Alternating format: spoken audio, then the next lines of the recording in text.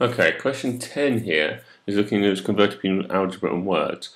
And lots of people find this a bit difficult. So hopefully you can pick up these marks in the exam and other people are going to get it wrong. So you get a bit of an advantage. But you have to check you understand what's going on. So we've got the number of blue beads is um, x. The number of red beads, so blue is equal to x.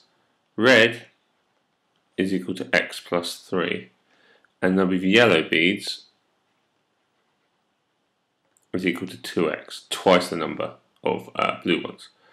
So we've got to choose sentences, we've got to choose from this list to help us complete the sentence. The number of red beads is, well it's, red is 3 more, it's plus 3 isn't it? So it's 3 more than the number of blue beads. So we've done that one.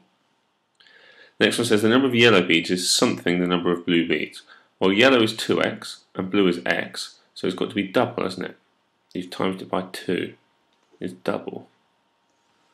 So mark each for those. Check you understand how I did that.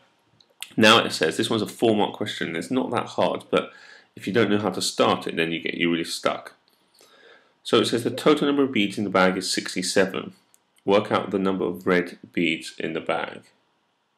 So well, we're told, and this is the last bit is a bit tricky actually. So we're told that there's blue, red, and yellow beads. So there's blue beads is X.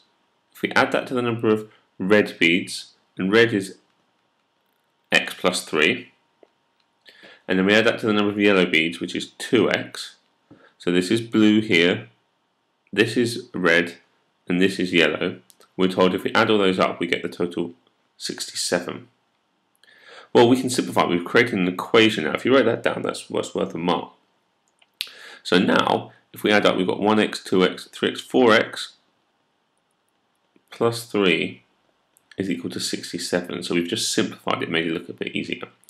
Now we've got to solve this equation. To solve this equation, we're going to have to do the opposites. So we're going to take away 3, and then we're going to divide by 4. Take away 3 is 64, divide by 4 means that x must be 16. Now check you can get from that step because I've, I've done it quite quick. We've done take away 3 and divide by 4. So 67 take away 3 is 64. And then halve it and halve it again gets us to 32 and then to 16. But that's the number of blue beads. So there's 16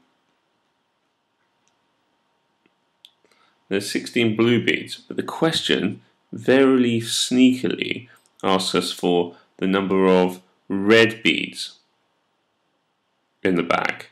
Okay, so the red beads is actually three more than the blue beads, so there's 19 red beads. And that's a bit of a sneaky question. If you got the 16, that would be worth three marks, but you asked for red, so you've the fourth mark, you've got to get 19 red beads. Okay, go back over it and check you understand how I did that. It's a bit tricky. This last one's for four marks. It's really important you could try and do this because it's four marks. There's a lot of marks, and it'd be nice to get those in your exam.